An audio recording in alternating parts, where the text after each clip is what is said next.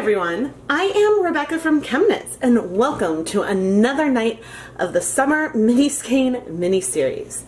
Tonight we are going to have some fun dyeing some twisted mini skeins in a sort of color fade effect. I thought it would be fun to dye these minis as they came twisted from Wool2Dye4. Dyeing twisted skeins creates some really fun resist, which we might not get as much resist on a mini as we would on a full skein because there's less yarn overall.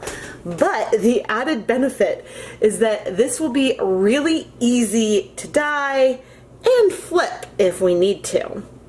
Normally when I am dyeing skeins of yarn, I lay them lengthwise in my pan, and as I add colors here, you get sort of a repeating gradient. But if we lay out the dye in the same way that we've done before, say a lovely rainbow gradient, this time we might get some mini skeins that are just mostly red, others that are mostly purple, and then things in between versus having the rainbow across all of the different minis. And I'm really excited to see how the colors spread, if we have white left behind, and I think it'll be a lot of fun. If I were to do this with say commercial acid dyes or liquid food coloring or something that might strike really fast.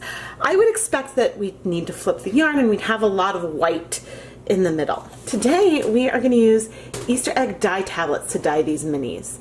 And I really want to do that rainbow gradient that I've done multiple times here on the channel, but on full skeins of yarn. And I just want to see what will happen on these minis. The deluxe kits come with nine different food coloring tablets. There's two blues, two greens, pink, red, purple, orange, and yellow. And I will be laying them out in a very planned fashion. I'm not sure yet if I'm going to use 18 tablets or 27 tablets for the 200 grams of yarn that we have in this pan right now.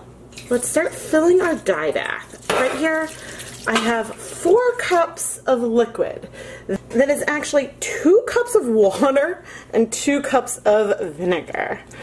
Um, and I think that this might be a reasonable volume uh, to start off with. We might be adding more volume as things go on, but we do want to pre-soak these minis a bit. And we're going to have them I might end up adding a bit more water. We'll see. Uh, right now I'm just pressing so they can soak in some water. And I will go ahead and let this sort of sit here for, I think, a good 20 minutes. But I will be pressing to try to remove some of these air bubbles to make sure we are nice and saturated. Within four minutes, the minis had soaked up all the water. So I am adding another two cups of just plain tap water. And I'll keep an eye on it. I would say the yarn is well saturated.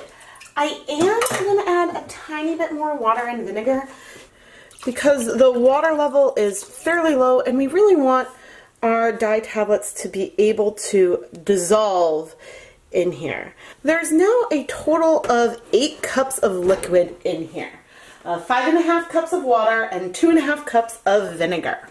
The reason why we are using so much vinegar is that the dye tablets are basic and so they will raise the pH and if you don't start off with acidic conditions the colors will spread because they're not going to bind to the yarn and they could spread so far that you can no longer uh, really get separation of the colors.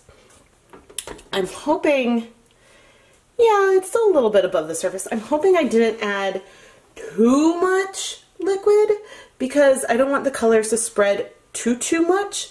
But let's get started and start heating this up. I actually went and pulled out one cup of liquid so we have that mixture with a total volume of seven cups of liquid right now and I am wiggling things around to distribute heat um, until we're ready to start adding the color. I made a rough plan on my phone about how I want to place the tablets and now we're ready to get started. The heat is on low and ugh, I hope that I can sort of stick with my plan pretty well. Oh no, almost lost one. Okay, so those were our pinks.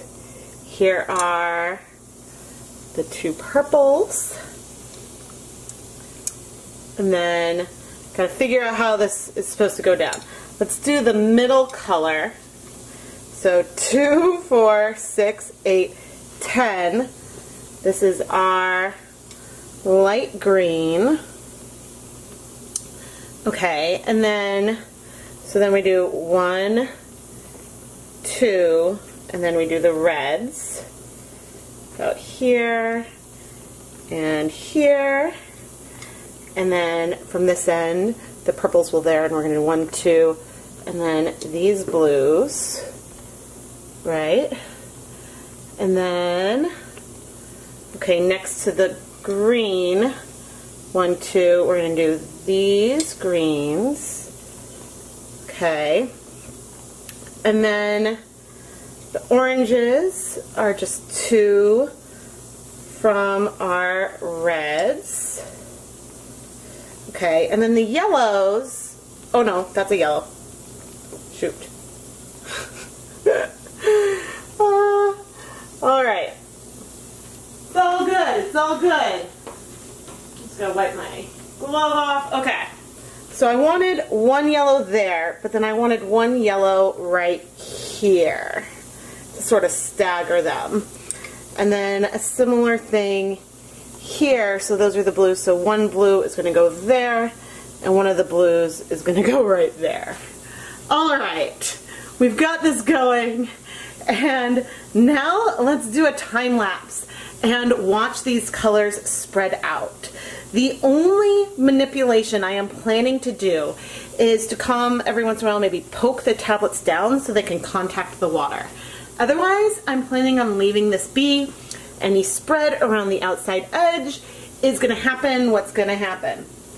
So let's start the time lapse.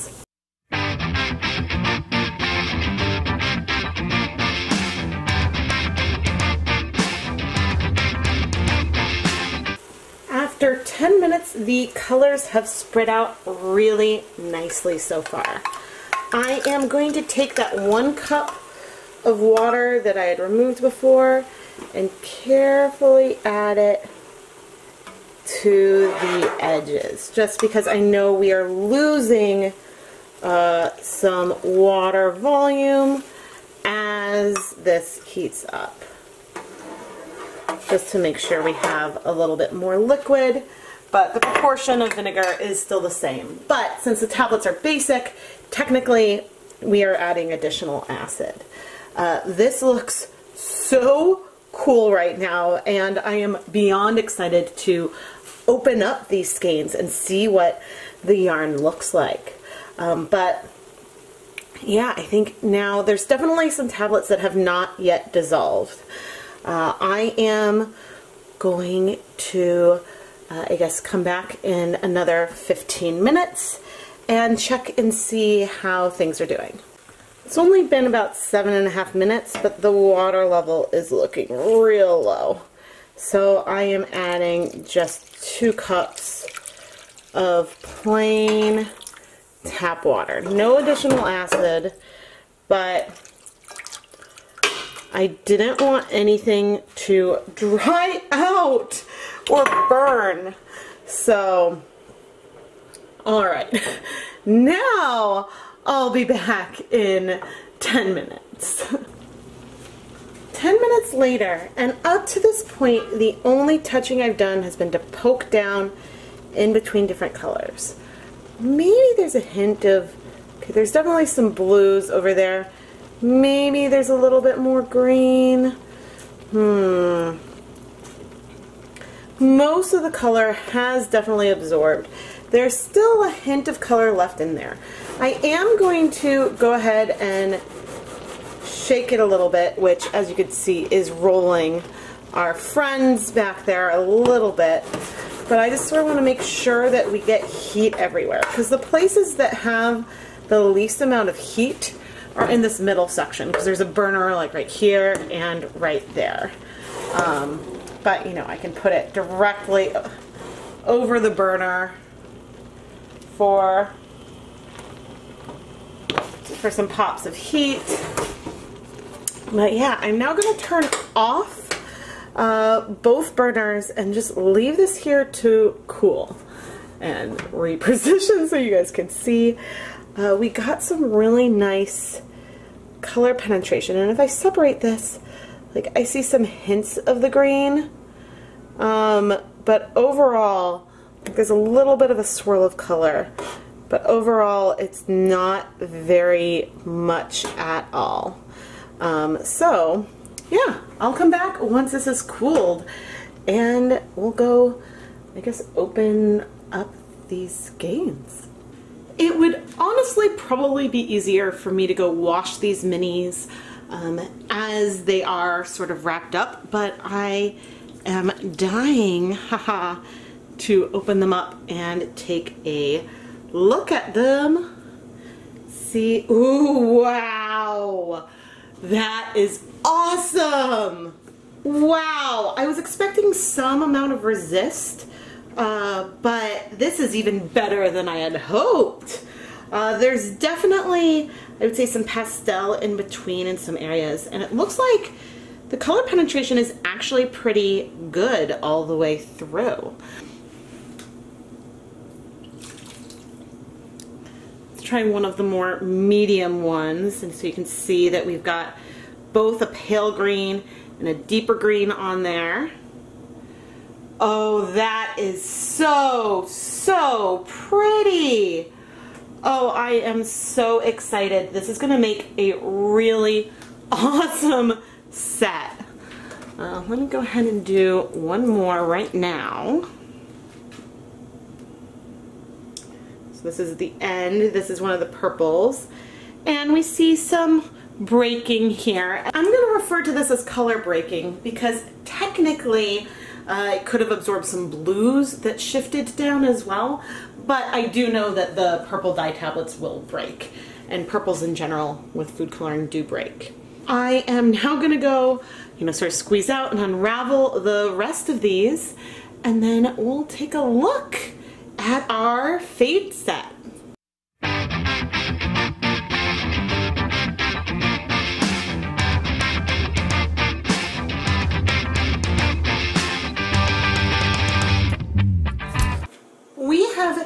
200 grams of yarn right here. So 20 10 gram mini skeins. And this gradient is phenomenal. Uh, this would make a stunning, stunning fade set. And a lot of times when you're doing a fade, you go through some rounds when you alternate between different skeins to sort of blend things together. But with all of these mini skeins, you don't really need to do that because they sort of act as their own transition. Um, you know, you've got, as you go between the different colors, you have, say, between the more lime green and the more teal, you've got skeins that have both of those colors mixed in there already. Sure, you could blend them a bit together through your knitting or crocheting, um, but you could get a really amazing transition here. And I am just absolutely thrilled with how this has turned out. I did 20 skeins here because that fit into the pan really well. But you could definitely turn this into two different 100 gram sets by say alternating every other skein that you put together.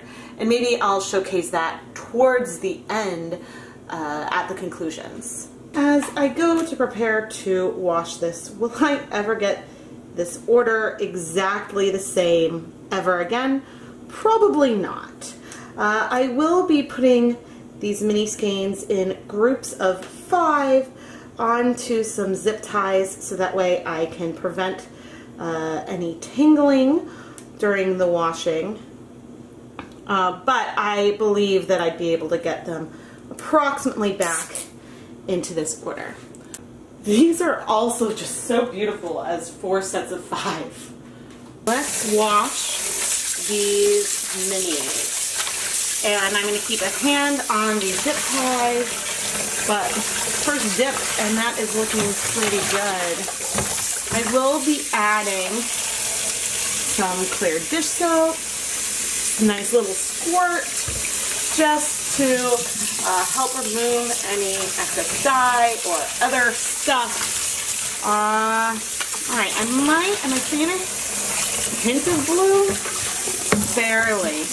But I'm gonna go rinse the soap out of all of our beautiful, beautiful rainbow yarn. And then I'm gonna put it through my Nina spin dryer to remove as much of the water as I can. And we are gonna now go and dye some more yarn with this technique because we've got some 20 gram minis to play with. Now in the pan I have 18 mini skeins.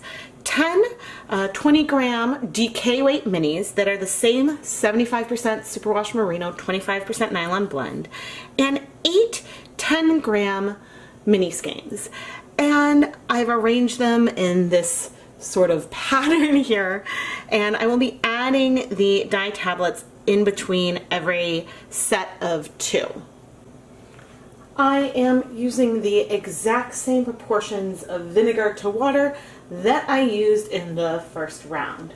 Two and a half cups of vinegar, five and a half cups of water with one cup in reserve to add to this as needed as the water levels decrease through the uh, dyeing process. Whenever I touched the tablets, it was just to poke down to make sure they were covered in the liquid. Um, I always wiped uh, my spoon off in between on a damp paper towel so that way I would not transfer any color anywhere on the pan. Here's the finished and cooling twisted mini skeins that has the mix of the 10 gram sock minis and the 20 gram DK minis. There are 280 grams of yarn in here compared to the 200 grams that we had in our very first pan rearranged between our 10 gram and 20 gram, uh, we have full rainbows. Uh, on the 20 grams, we hit all the colors. There's a little bit less of uh, that more lime green, but it's definitely present. And over here, we're missing the orange completely on our 10 grams. But I think that you could still do a really fun fade with this. Maybe I would remove one of the greens, but I am now really curious to go and open all these up uh, so that way we can see what they look like overall.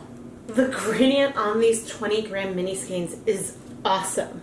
Maybe it's a tiny bit less saturated than what we saw before, but I love that we got so much blending of two colors, We're not even blending, but we got variegated two color skeins sort of throughout the whole thing, um, which I think is going to be so, so fun when knit up. I'm trying to think if there was anywhere I would really try to change the order of where I place the tablets because I had the the order wasn't just like mini large mini large in the pan but I'm ultimately really really happy with how this turned out and so I don't think I'm going to make any changes when I go do this again off camera. Once again, I think that the, there's so many fun ways you could divide this up. I mean, just splitting it in half. We have two beautiful sets or combined all together. I'm going to go wash this off camera, but you'll see it in the conclusions.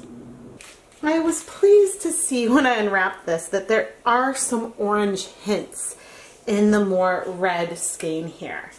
I mean, this one definitely leans more on the green, but I mean, you could definitely just sort of pull one out uh, to get a more balanced set with all of these colors. I am now going to go wash this off camera, put it through my Nina Soft spin dryer, hang it up to dry, and on the stove right now, as I said, I've got one more set going and bubbling and spreading. But instead of the DK 20 gram mini skeins, I've got the sock 20 gram mini skeins. What if you don't have access to Easter egg dye tablets? Either it's the wrong time of year or you live outside the US. Can you do this with other types of acid dyes? Absolutely. Uh, there's no question you couldn't mix up commercial acid dyes or other food coloring and add two little concentrated squirts in between the mini skeins like I did here, or even like a little line. Uh, and I think that it would give you a very similar effect to what we saw here. You would want to use a lot less acid, of course, but it is still definitely a possibility. If I didn't have more mini skeins that I needed to dye for this series, I would go take all of the Easter egg dye tablets that I have and do this technique over and over and over. I think that the gradients that we created from the two different variations are awesome. And it was so easy to do using the commercially twisted mini skeins. I think that if I twisted the minis by hand before dyeing, there might be a little more variation in terms of the amount of resist because since these were commercially done, there is more consistency within them. However, you could still create something really similar if you're making your own mini skeins at home. In the first batch, I used 18 Easter egg dye tablets for 200 grams of yarn, but in the second two, I did have more yarn there, 280 grams in the pan at a time. And I had staggered our 10 gram minis with our 20 gram minis, uh, so that way I could create a rainbow and have something balanced, even though I was dyeing different size skeins in the pot at once. And I think what we ended up with is really, really great. We have a pretty complete rainbow on both cases. Sure, this one might have two predominantly lime green, whereas the other ones might have two predominantly orange. But overall, you could create a really lovely fade from either of these sets. Since the last batch that I did was a mixture of 10 gram and 20 gram mini skeins that were all fingering weight sock yarn, it would be really easy to mix these back together for a longer fade.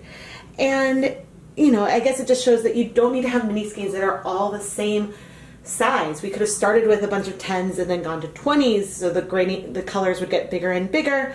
Maybe as you're going further and further out of shawl, if you're starting like a center out or something like that. But there's many different ways you could play around with these gradients. Similarly, you could take these 20 10 gram mini skeins that we dyed at the beginning and split it up into two different 100 gram sets. I just separated every other one of these mini skeins and we have 200 gram sets that aren't perfectly matched. They have very similar gradients, but they would definitely not be identical. But it is a fun way to create two gradients, sort of sister gradients, in one pan. Here, playing with these minis, I am placing things in rainbow order, but you really don't have to play with it that way. Um, I could have separated the bottom rainbow to be half warm tones, half cool tones. You could pick and skip different colors to play with fades. Uh, there's really a lot that you could do, and I think that you can have as much fun playing with these mini skeins and how to order them after the fact as you did dyeing them in the first place. The, the technique that I did on mini skeins today is honestly one of my favorite ways to make some rainbow yarn. Here is some sock yarn that is 75% superwash merino, 25% nylon, but I dyed this one just with multiple skeins laid out in the pan itself, but then I added the Easter egg dye tablets on in a very similar way. The difference is, with our full skein, we will have a repeating or mostly repeating colorway because you'll get a repeating progression of a rainbow. With these mini skeins, you can get more of a rainbow gradient. And so that ability of separating the colors, even applying the dye in pretty much the same way, gives you a completely different result for how you incorporate this into a finished knit or crochet garment. I am thrilled with the penetration of color we got on these mini skeins. I knew that there was a chance that we'd only get shallow penetration of color and I had a backup plan if that was the case. But since the mini skeins are so small, even with that resist from having them twisted up, you're still able to access most of the yarn of being exposed on the outside, which is why we were able to get such great penetration of color. If I had filled the pan with full skeins of yarn, full 100 gram skeins, and tried something similar, the colors would not penetrate nearly as far. I am Rebecca from ChemKnits, and I really hope that you enjoyed this episode of the 2019 Summer Mini Skein Mini Series. Make sure that you tune in because tomorrow night there'll be another video featuring mini skeins. There's a whole playlist for this week, so if you missed a night, uh, you can easily see everything that I have created using these awesome minis so far. If you enjoyed this video, please give it a like and make sure that you're subscribed to the ChemKnits Tutorials YouTube channel and turn on notifications by pressing that bell icon so you never miss a new video. Outside of special series like this week, I publish new videos every Tuesday and Friday mornings at 8.30 a.m. Eastern Time. While you're at it, head over and check out the ChemKnits Patreon for cool behind the scenes looks as I'm filming new content and more. There are a lot of awesome perks and you should really go check it out, especially if you're already a huge fan of ChemKnits. Thank you so much for watching everyone.